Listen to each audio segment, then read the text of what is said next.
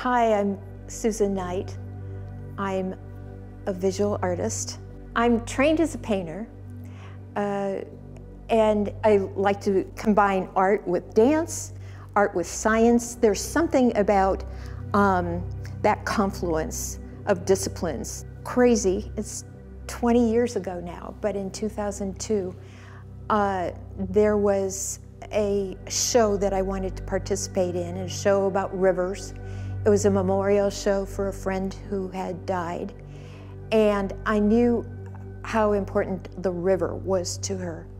And I also knew that I didn't want to paint a river and I didn't want to photograph a river. And so I uh, had just come from the Museum of Art and Design in New York, and there was an amazing show called Architectural Origami. It was installed brilliantly, and then the cuttings, these, these intricate cuttings on just, you know, pieces of regular paper. And after they're done, you, you fold out the paper and all of a sudden you've got the Empire State Building cut in that. Anyway, it was um, an inspiration to me and I, I knew back to the show that I wanted to participate in, I could cut a map of the river I grew up on in Michigan. And that's exactly what I did. I thought it was a one-time only project. And what it did ultimately is it took over my life. I was cutting with an X-Acto blade. In the middle of this project, I realized that there were a whole bunch of water stories that I wanted to tell. And uh, the map was indeed a, a, map, but it was also a narrative about my time on the Great Lakes. And so I continued cutting these pieces of, uh, big pieces of paper. That has taken me places.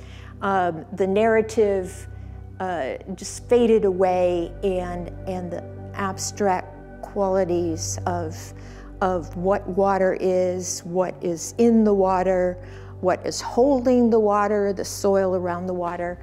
Um, all of that has become of interest to me. And of course, all of this came up um, and kind of like, you know, banged into climate instability, climate change, call it what you want. But every day I can wake up and, and think about a lot of topics that concern me and while that concern goes on, a few of those topics will actually, uh, some visual, some notion of how, how I could build this out um, with paper and plastic and mylar and Tyvek.